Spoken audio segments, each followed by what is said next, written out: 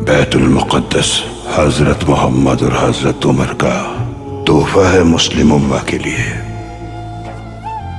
یہ مسجد ہماری عزت و ناموس کی علامت ہے۔ القدس ہمارا دل ہے اور ہمارے دل قدس کے ساتھ ہے اللہ اس کی حفاظت فرمائے۔